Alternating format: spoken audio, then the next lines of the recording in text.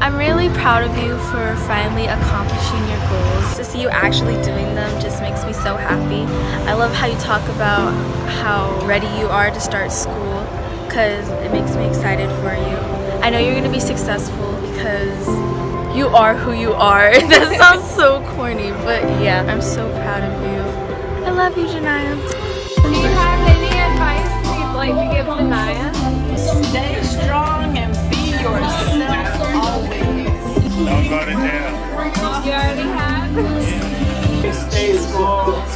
Have a positive attitude all the time. Be a go-getter. Be on it all. Go make your money, girl. We love you. Love you, Naya. Hope you have a great day at your graduation at your party.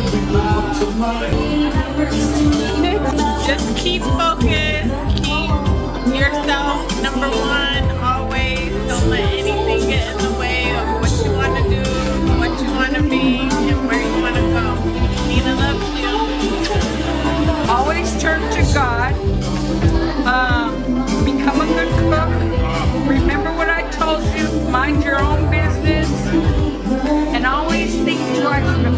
open your mouth.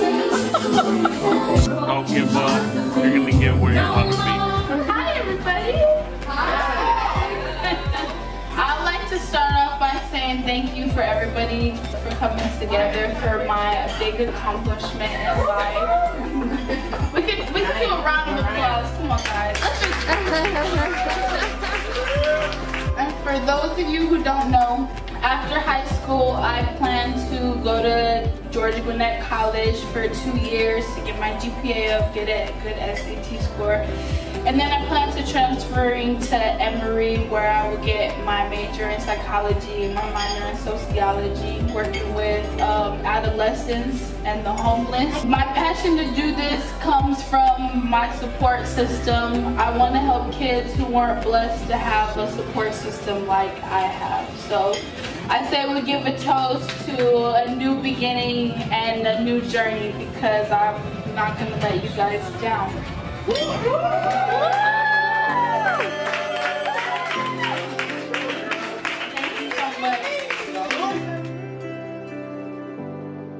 Janiyah, as your mother, I want you to know that I'm very proud of you for making it this far. You've been a joy since the day that I laid my eyes on you, and you've always been a go getter and somebody who is full of ambition and full of light. I want you to not get distracted in this world as you make your next steps on this journey of life. I want you to continue to be all that you are, to put your heart into everything that you have, to shine from within, to always help others, and to push yourself to accomplish more than you can even ask or dream.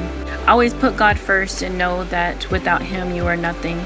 Don't be distracted by any men or guys that tend to get to a woman's heart, but be focused on you, on your goals, on your life, and everything that you want.